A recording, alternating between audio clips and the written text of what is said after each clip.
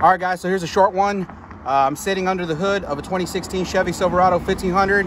It's got the V8 5.3 engine, and the shop replaced the engine, but after they replaced the engine, the vehicle was a no start, so it would crank, but it wouldn't start. Uh, they hooked up the scan tool. They found two different codes. I can't remember the codes off the top of my head. I'm to put them on the screen right here. Anyways, both of these codes pertain to the fuel rail pressure sensor. Um, so they went ahead and took off the intake manifold so I could check it. Let me show you guys what I found. All right, so here we're looking at the 5.3 liter V8. And of course, this engine, because it's a 2016, does have the GDI design. So this is a GDI fuel rail, and you can see this is the uh, high pressure fuel pump right here. But again, we had codes pertaining to the fuel rail pressure sensor, which is located right here. I have it disconnected.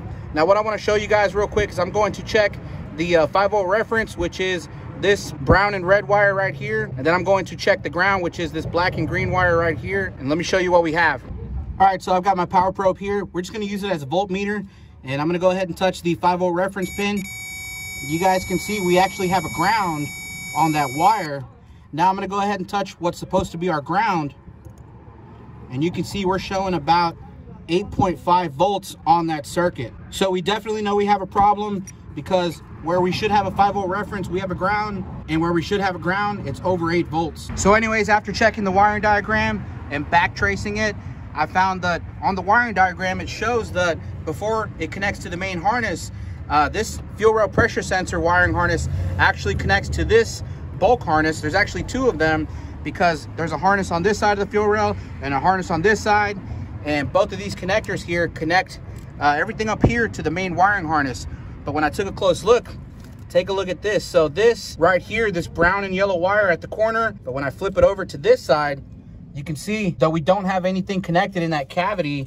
Also, if you take a look at what's supposed to be our ground, which is this green and black wire right here, take a look on the other side, it connects to a yellow wire. Well, it didn't take long for me to figure out that these two connectors were actually connected in reverse. So this connector goes to this harness over here, and this connector goes to this harness over here. If you don't believe me, let me go ahead and disconnect these and show you how easy it is to swap them. So I'm gonna go ahead and disconnect this one there we have it. I'm gonna go ahead and disconnect this one. And then I'm going to swap them over. Again, you can see that this brown and yellow wire, let me zoom in a little bit. You can see that brown and yellow wire and we'll match it up to this harness over here that has our brown and yellow wire on this side and we can go ahead and connect them. There we go. Then we'll take the other side and connect it as well. Now that we have these connectors reversed, let's go ahead and go back to the fuel rail pressure sensor and check our 5 volt reference. So I'm gonna go ahead and touch the pin here.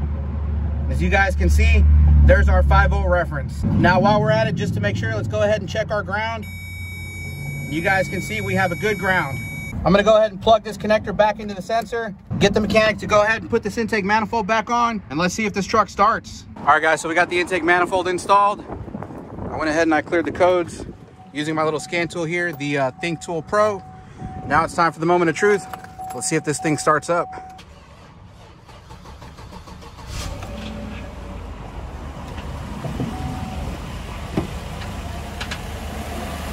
There you have it. We are back in business.